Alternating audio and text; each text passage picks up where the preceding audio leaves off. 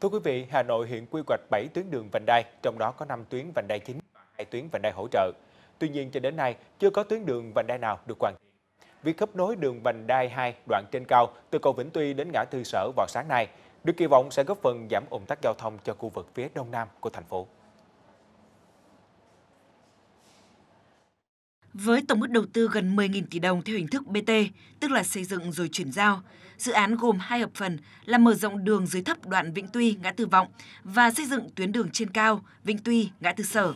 Tuyến đường nối liền 4 quận trung tâm là Hai Bà Trưng, Hoàng Mai, Thanh Xuân và Đông Đa. Nhiều người dân kỳ vọng việc hoàn thiện từ cầu Vĩnh Tuy đến ngã tư Sở sẽ giảm được ùn tắc.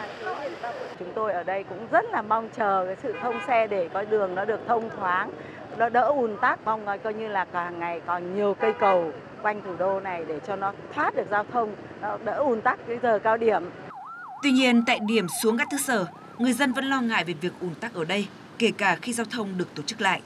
Việc đứt đoạn của vành đai 2 từ ngã tư sở đến cầu giấy với khoảng 5 km cũng tiềm ẩn nguy cơ ùn tắc thắt cổ trai. Do vậy, người dân mong muốn thành phố sớm triển khai để hoàn thiện khép kín đường vành đai 2. Ngày hôm nay thì đường thông hề thoáng cảm thấy là thoáng hơn. Còn nhiều được được bền hay không? Vài bao hôm mà lại tắc tuyến này bây giờ cái thêm một làn đường nữa để cho từ đây ra cầu giấy thì mới, mới, mới nó mới đỡ ách tắc được. Để giải quyết câu chuyện tắc đường thì bên cạnh việc hoàn thiện hạ tầng giao thông vành đai thì ý thức người tham gia giao thông vẫn đóng một vai trò quan trọng. Tôi nghĩ rằng là cái ý thức làm thế nào để có cái cái, cái, cái phổ biến ý thức người dân để tham gia giao thông từ xe ô tô, xe máy, kể cả đi bộ phải có ý thức rất ý thức đối với vấn đề tôn trọng giao thông thì mọi việc nó mới tốt được. Theo quy hoạch giao thông vận tải thủ đô Hà Nội đến năm 2030, tầm nhìn đến năm 2050 đã được Thủ tướng Chính phủ phê duyệt.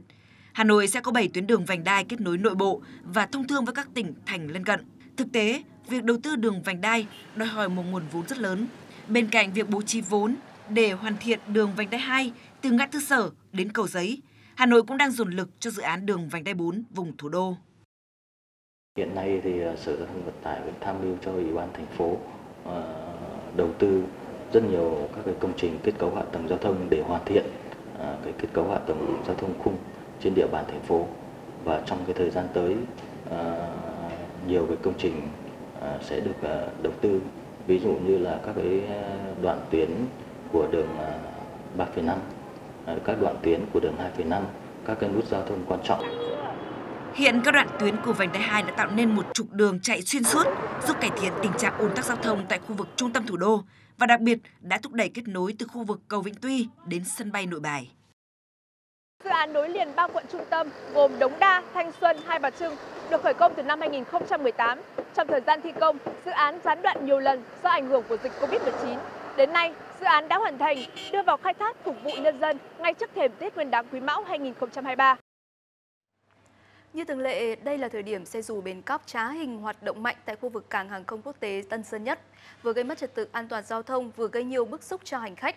Lực lượng chức năng thành phố Hồ Chí Minh đã bắt đầu ra quân quyết liệt xử lý các trường hợp vi phạm với mục tiêu lập lại trật tự trong dịp cao điểm Tết. Kiểm tra xe khách này xuất bến từ sân bay Tân Sơn Nhất, lực lượng chức năng đã phát hiện trên xe có 7 người, nhưng trong danh sách chỉ ghi có 5 người. Và nghiêm trọng hơn, người điều khiển phương tiện này tại thời điểm kiểm tra không xuất trình được giấy phép lái xe.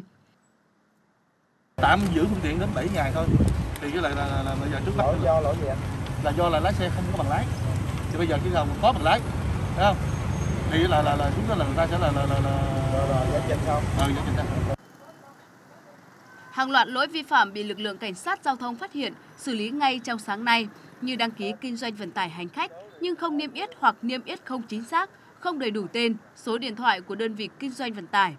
Đặc biệt, không dán đủ phù hiệu hai bên cánh cửa theo đúng quy định. Điều đáng nói, không ít lái xe chống chế tìm mọi cách để vi phạm như thế này.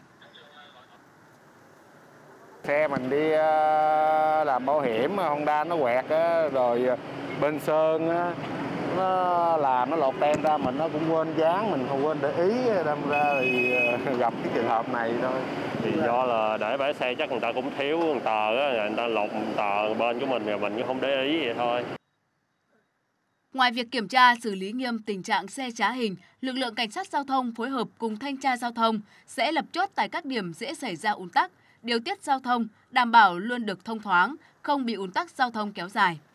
Cảnh sát giao thông công an thành phố à, cùng với các cái đội trạm à, và lực lượng à, cảnh sát giao thông công an cấp huyện sẽ tổ chức ra quân phối hợp với thanh tra giao thông, thanh niên xung phong để làm sao để đảm bảo giao thông không bị ùn tắc kẹt xe cũng như các khu vực cửa ngõ ra vào thành phố, khu vực bến xe, khu vực cảng hàng không quốc tế Tân Nhất cũng như là cảng Cát Lái.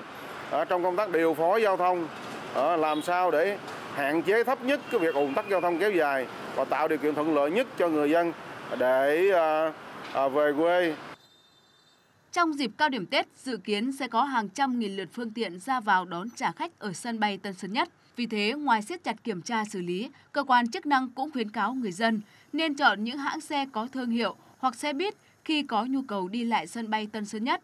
Đối với trường hợp phát hiện tài xế thu hơn giá cước hoặc chạy không đúng tuyến cần tố giác qua đường dây nóng tổng đài 1002 của thành phố để được xử lý. Hãng hàng không Vietjet Air đã vừa công bố khai thác các đường bay kết nối Việt Nam Australia. Cụ thể là đường bay thành phố Hồ Chí Minh đi Melbourne trong khuôn khổ chuyến thăm và làm việc tại Việt Nam của đoàn công tác chính phủ bang Victoria. Lễ công bố được chứng kiến bởi ông Tim Pallas, Bộ trưởng Ngân khố Thương mại Đầu tư và Quan hệ Công nghiệp bang Victoria của Australia và lãnh đạo hãng hàng không Vietjet Air. Theo đó, các chuyến bay đầu tiên kết nối thành phố Hồ Chí Minh và thành phố Melbourne của Australia bắt đầu từ ngày 31 tháng 3 năm 2023 với tần suất 3 chuyến một tuần và dự kiến tăng lên 7 chuyến một tuần từ tháng 12 năm 2024. Việc Vietjet Air mở lại đường bay đến tiểu bang Victoria là bước khởi đầu cho mạng bay kết nối giữa Việt Nam và Australia trong kế hoạch phủ kính các châu lục mang lại cơ hội bay cho hàng triệu người dân. Năm 2019 có hơn 123.000 du khách Việt Nam đến Australia. Quan hệ thương mại song phương Việt Nam Australia năm 2021 đạt 12,4 tỷ đô la Mỹ, cao nhất từ trước đến nay. Điều này sẽ được cải thiện đáng kể khi các chuyến bay của Vietjet được đưa vào khai thác kết nối Việt Nam với các thành phố lớn khác của Australia trong năm 2023. Tiếp tục với một nội dung đáng chú ý khác. Thưa quý vị, từ 15 giờ hôm nay, Liên Bộ Tài chính Công Thương đã quyết định giữ nguyên giá xăng E5 RON 92 và xăng RON 95 như giá đã bàn cách đây 8 ngày, lần lượt là 22.150 đồng và 21.350 đồng một lít. Trong khi đó, giá các loại dầu giảm mạnh. Cụ thể, giá dầu diesel giảm 520 đồng còn 21.630 đồng một lít và đã thấp hơn giá xăng trong nước. Giá dầu hòa giảm 960 đồng còn 21.800 đồng một lít dầu ma rút giảm 380 đồng 1 kg còn 13.740 đồng 1 kg.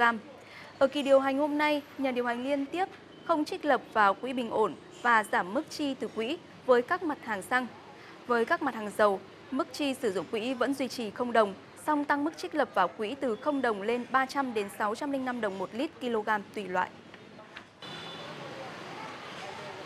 Hôm nay tại tỉnh Vĩnh Phúc, Ủy ban An toàn giao thông quốc gia phối hợp cùng công ty Honda Việt Nam tổ chức lễ công bố chương trình trao tặng 620.000 mũ bảo hiểm cho học sinh lớp 1 và lớp 2 năm học 2022-2023 tại ba thành phố Hà Nội, Thành phố Hồ Chí Minh và Cần Thơ.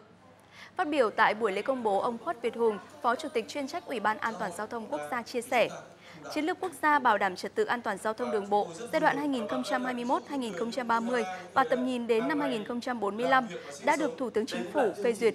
Một trong những nội dung đáng chú ý là chiến lược đưa ra định hướng đến năm 2045 không còn thương vong do tai nạn giao thông ở Việt Nam. Đây là khát vọng nhân văn chính đáng của mọi dân tộc trên thế giới. Nếu tất cả chúng ta đều hướng đến và luôn tâm niệm về khát vọng này, chắc chắn tai nạn giao thông sẽ giảm, xuất phát từ hành động nhỏ nhất như đội mũ bảo hiểm đạt chuẩn khi tham gia giao thông. Ngoài việc 100% học sinh lớp 1 và lớp 2 tại Hà Nội, Thành phố Hồ Chí Minh và Cần Thơ được nhận mũ bảo hiểm, hai bên sẽ tăng cường các hoạt động đào tạo và chia sẻ kiến thức an toàn giao thông, kỹ năng dự đoán phòng tránh rủi ro cho học sinh, đặc biệt là phụ huynh trong các sự kiện trao tặng mũ bảo hiểm.